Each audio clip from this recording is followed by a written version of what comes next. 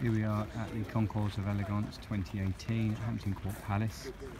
Here is an amazing car. Never been in the UK before, so you won't probably see it again. It's a 1929 Rolls Royce Phantom 1 Coupe Chauffeur, gold plated. As if a Rolls Royce needed to be gold plated, but there you go.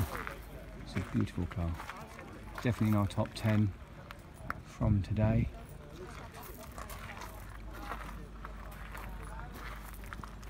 You can see our top 10 in full by visiting mycarheaven.com.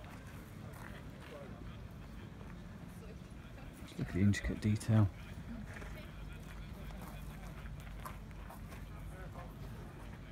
Just amazing. Look at those runners. Beautiful.